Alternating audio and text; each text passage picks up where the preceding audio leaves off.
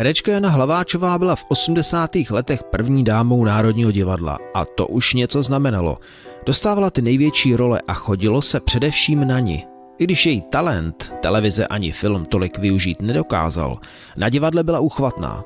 Hlaváčová mohla ze své slávy žít mnoho dalších let jako jiné významné herečky, ale ve stáří se stáhla do ústraní a po smrti milovaného manžela Luďka Monzara v roce 2019 ztratila okolní svět zájem úplně. Tvrdí o sobě, že se z ní stal ležák a chce jenom v klidu dožít.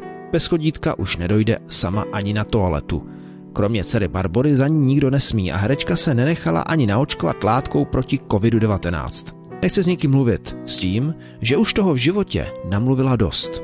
Poslední roky se nevídá ani se svou sestrou Danou, která byla rovněž herečka a zahrála si například roli rozmazlené sestry v pohádce Tři oříšky pro popelku. Jana Hlaváčová dokonce novinářům přiznala, že na sestru už ani nemá telefon.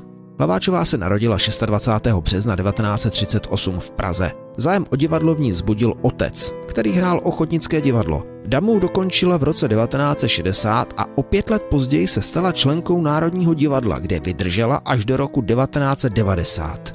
Ve filmu se objevila už jako studentka divadelní fakulty. Rolí průvodkyně Čedoku Mefistofely v úspěšné komedii režiséra Zdeňka Podskalského Kam čert nemůže ale většina diváků si nejspíš pamatuje z role Jarči v Chalupářích anebo z postavy zdravotní sestry Toničky ve filmech o básnicích. V roce 2006 se ještě uplatnila jako profesorka na damu v oboru herectví činoherního divadla a pak začala pomalu upadat v zapomnění. V roce 2011 svoji uměleckou kariéru přerušila kvůli hlubokým depresím, ke kterým se později přidala ještě Parkinsonova choroba. O této chvíle se až na vzácné výjimky odmítá objevovat na veřejnosti a poslední roky dokonce už ani nemá zájem opouštět svůj pokoj.